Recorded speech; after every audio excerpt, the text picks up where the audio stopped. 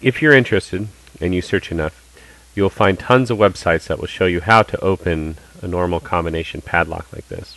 One of the things none of the websites do, though, is show you what to do with the lock now that you have it open. It's, it's great that you have it open, but let's do something useful with it. Let's find out the combination. And to do that, we need to look inside. To understand what we're going to be looking at next, here's a quick diagram of the insides of a lock. The key components that we're looking at are the locking latch, the combination disc, the combination dial, and um, you can see the little slats that are uh, at the very top part of the picture. What I've done is I put a little LED inside the lock.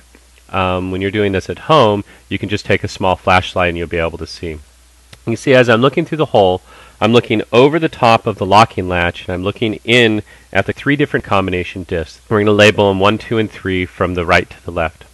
As we're turning the dial clockwise, we're lining up the, the slot of the first disc with the top part of the combination latch. And it gives us a number under the red arrow of 27. We're going to write that down. Now we turn the dial counterclockwise until it catches on the second disk. And we're going to subsequently line it up the same way.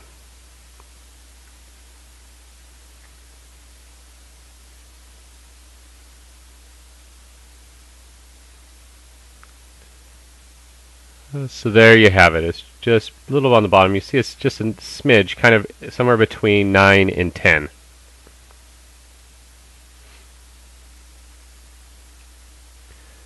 And then we turn it clockwise again, and we're lining up the next notch of the combination disc the same way.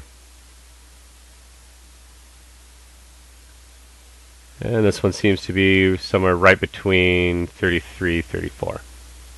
Write that down.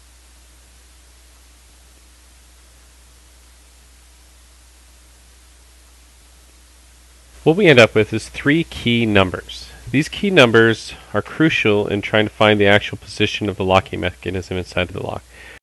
To really understand this, let's take a different look inside the lock. You see in this first picture, we have the combination disc is in the very center, and I've highlighted the slot in red.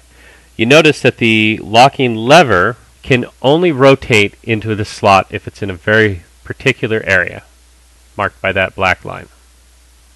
Now as we are looking inside the lock, we can only see a very small portion of the disk. As you see, it represents approximately this area.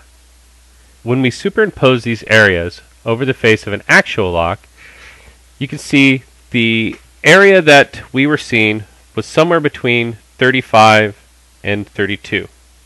And you can see the area that the locking lever has to fit into is going to be somewhere in the area of the number 5. Next thing we want to do is make a little chart that looks like this, and I'll explain the right side in a few seconds.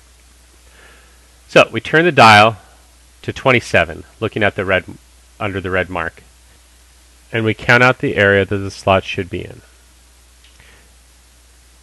And so what we get is 19, 20, 21, and 22.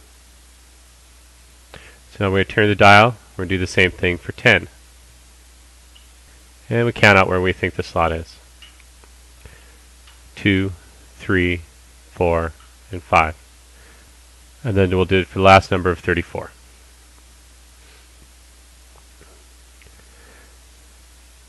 And we get 26, 27, 28, and 29 as the area that our slot should be in. Remember, this can change depending on how we're visually looking through the hole. Now what we want to do is we want to figure out if the slot is in the area for the locking latch to go into, what number does the lock show? So, we're going to turn 19 to the slot right there on the right. And you see we get the number 14.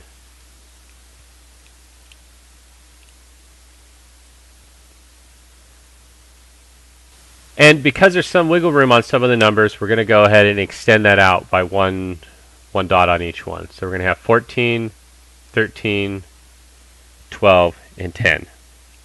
And this just accounts for some of the wiggle room that we found like on those uh, last two numbers. And we're going to do that for all the other combinations. So we put 2 under the first slot.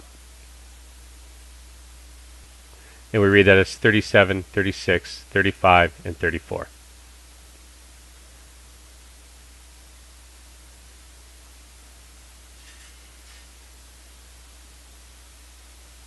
Then we put 26 in the first slot.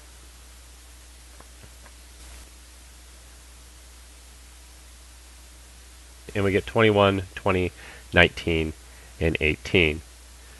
So now these are four different combinations that we've come up with.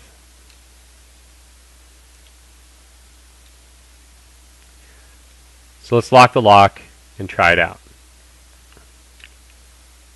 Turn around a couple times clockwise. Reline up to 14.